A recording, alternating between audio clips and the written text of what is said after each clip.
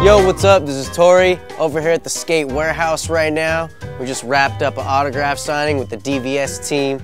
And we're out here. We're about to go to the skate park with the locals. SLO park. Stoked, man. First time. Let's do this.